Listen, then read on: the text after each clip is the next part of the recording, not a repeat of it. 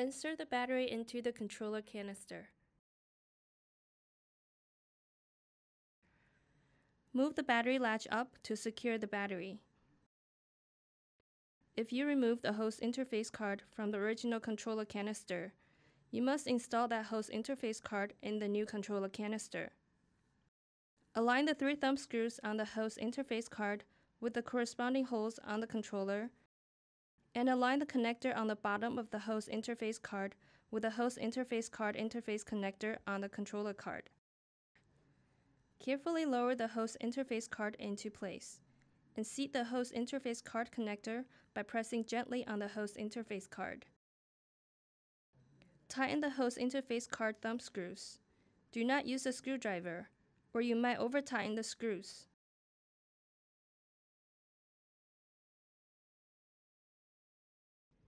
Using a number 1 Phillips screwdriver, attach the host interface card faceplate to the controller canister with four screws.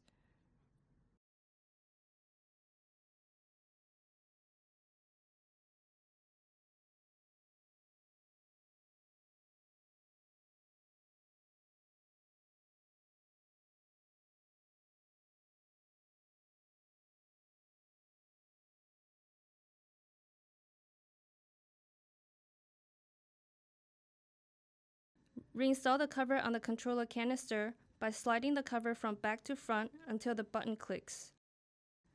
Turn the controller canister over.